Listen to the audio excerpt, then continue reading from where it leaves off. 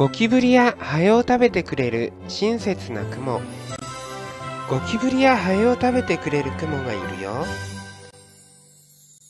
よく家の中で見る1センチに満たない黒いクモそれがアンダンソンハエトリこのちっちゃなクモは網を張らない。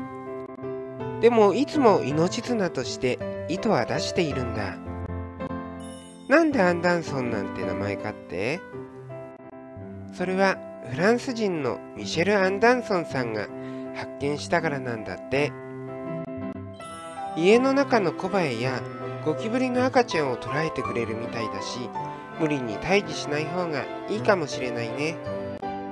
今日も見てくれてありがとう。明日も見てね。バイバーイ。